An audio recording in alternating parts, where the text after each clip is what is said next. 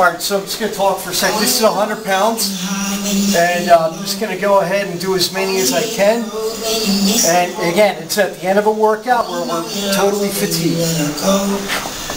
So here, let's. Hopefully, I'll get the six.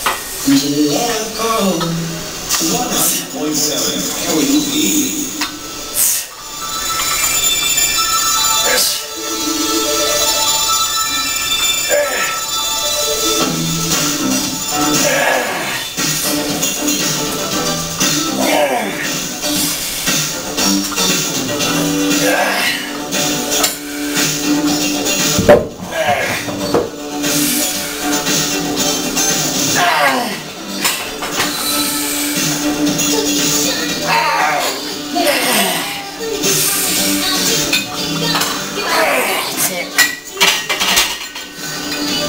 right, thanks, man. Good job, man.